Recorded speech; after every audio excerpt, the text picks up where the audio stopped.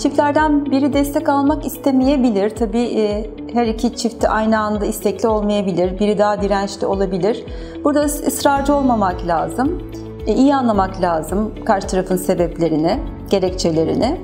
E, ama bu da tabii erteleme nedeni olmamalı. E, bireysel olarak başlanabilir. E, ve o bir, bir taraf belki bu danışmanlık hizmetinden yol aldıkça, geliştikçe, bir şeyler öğrendikçe belki karşı taraf da bundan daha şevke gelebilir, daha motive olabilir. Ve de o da e, daha sonraki süreçlerde e, bu danışmanlık hizmetine katılabilir.